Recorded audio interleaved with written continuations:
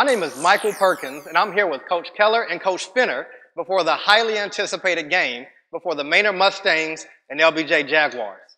Coaches, we're going to spend just a few minutes learning more about your teams and about the matchup. So, Coach Fenner, I'll start with you. What have you seen during preseason and during practice that has you most excited about the upcoming season? Uh, really, just you know, the focus of the kids. You know, it's been a lot of time that's gone by between January and July. You know, just strength and conditioning in the summer, seven on seven, and just really seeing the kids lock in and focus and get prepared for the new season. So we know they love football. This is a sport they want to play, and all the training that's led up to this point. Really, just seeing how focused they are right now. All right, thank you, thank you, Coach Keller. Same question for you. What have you seen during the preseason and during practice that has you most excited about the upcoming season? I think the thing I see the most um, with our kids, you know, since the off season last year is the focus and intensity. They've been at it 100%. They're working hard in the weight room. They're working hard in track. They worked hard in powerlifting. They competed all year, and they're hungry to come back for this game right now.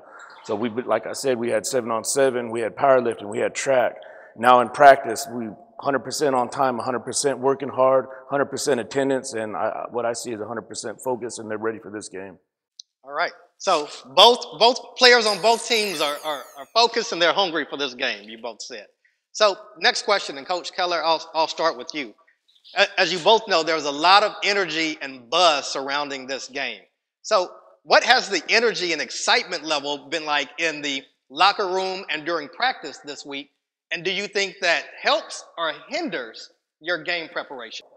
Well, anytime uh, Manor's playing LBJ, there's going to be a lot, of, a lot of excitement and, and focus with the kids. You know, it goes a little bit of both ways. I think. You know, sometimes sometimes they get a little bit carried away with, with it, but overall, I think I think it's a good thing because it's getting them hyped and getting them ready, and it's giving them something to work hard to. So they've been working hard for this, and I really don't see a hindrance on the field. They're, they're, focused and ready to play. So they got a target and they're, they're seeing it in their eyes. They're ready to go. And, and like I said before, they're hungry, man. Um, I think our kids are ready and, and focused.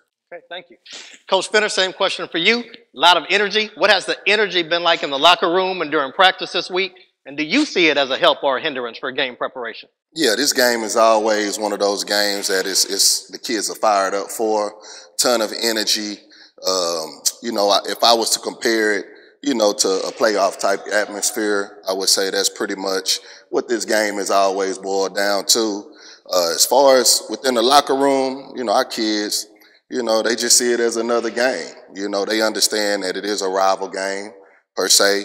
Um, we're 2 and 0 against them as far as with me being a head coach, but we 4 and 0 against them as an assistant, you know. So as far as we look at it, it's just another game. Uh, we're going to approach it and prepare for it as if it's another game. You know, we don't really preach to our kids to get so high, you know, in the moment, but just to settle in and we really just trying to focus on what we do. And so uh, I don't think it's a hindrance uh, because there's multiple distractions all the time just with playing the sport. And so we don't let the emotions and the hype surrounding the game uh, bleed into the locker room. We, uh, we teach our kids to focus on our game plan and what we're here to do, and that's win. As you both know, both teams have an amazing rushing attack. So, Coach Fenner, I'll start with you. What are you going to do to try to slow down the Mustang rushing attack?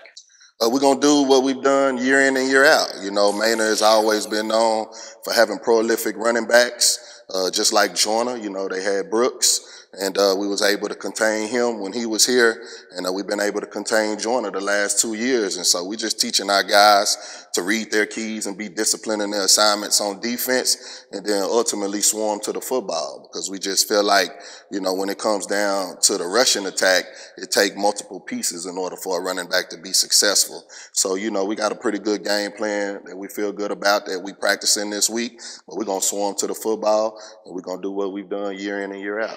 Thank you. Thank you. Coach Keller, same question for you. What is your plan to slow down the LBJ Jaguar rushing attack? Like Coach Fenner said, you know, we have two good running backs. They have a good running back. We have a good running back.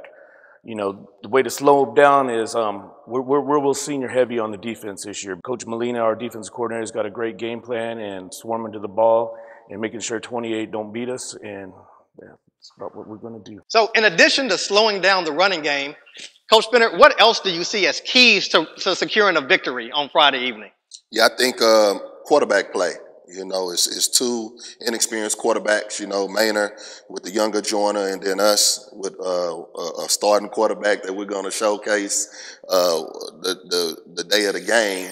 Uh, we're not going to announce that at this point because we do have a three quarterback competition going on. But uh, but yeah, I think the quarterback play, you know, uh, protecting the football, obviously not turning it over, and then you know getting other people involved. Uh, I think that's the biggest key because we know everybody's keying on the running backs, and so really uh, being prepared to uh, have a, a, plan B if plan A doesn't work. And so I just think you know you just focus on every aspect of the game, special teams, offense, defense, and then just ultimately having your kids prepared. Thank you, thank you, Coach Keller. Same question for you. What else are keys to securing a victory on Friday evening? First thing, like um, Coach said over there, is this quarterback play. Um, Quintaylon Joyner will be our starting quarterback going out there against uh, the LBJ. It will be his first varsity start as a sophomore, but we have a lot of faith in him. He's he's played his whole life at quarterback. His brother's Quentin Joyner, and what we're going to do is we're not going to put a lot of pressure on him. We, we're going to let let the surrounding players. We got players around him. We got a tight end. We got wide receivers, and of course Quentin running the ball. And our game plan is we're going to run the ball. You're going to have to show us you can stop it before we start going something else. Once you stop it, we got other things to do. Another key to that, you know, of course, is turnovers. The third key I would, I would really like to elaborate on is, is a defense. Our defense is off the chain this year, and I think we have one of the top defenses in the state, and you're gonna have to show us you can beat us offensively, beat our defense. As we mentioned earlier, there is so much energy and buzz surrounding this game. Coach Keller, in your opinion, what makes this game so special to the players and to the community? You know, it's really become into a big, big rivalry. Um, we got a lot of community members that went to LBJ that are now at Manor, that their kids are playing at Manor that were at LBJ, and vice versa. And it's a big tie into the whole community and, you know, Northeast Austin Manor as a whole. And I, I, think it's a great thing that it's, it's come, come to this as a rivalry game, and we want to start it off. And I think me and Coach Fenner are on board with this. We want this game won every year to, to get us set. And, you know, he said before, it's like a playoff experience. We're getting a, a early start on there, and no better time to get an early start and pressure is on week one. And shoot, man, I, I, wouldn't rather play anybody else than LBJ week one. We're going to come out this this week on Friday night and, and, and come out and do what we can do. Thank you, Coach. Coach Fenner, last question for you. A lot of buzz in the community. What makes this game so special to your players and to the community? I think it's multiple factors. I think you have kids that have grown up together, whether they played together in Little League or played against each other in Little League. You know, we kind of see that as a part of the rivalry and a, a part of the hype.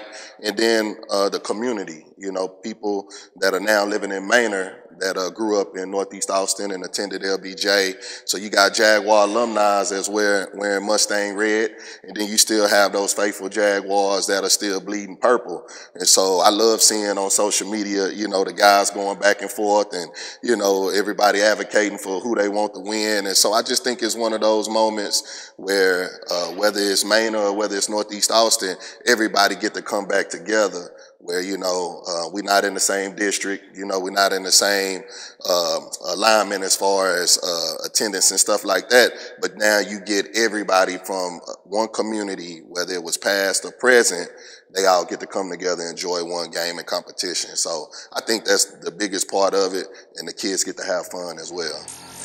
I want to thank both coaches for taking the time to visit with me today. Thank you, Coach Fenner. Thank you, Coach Keller.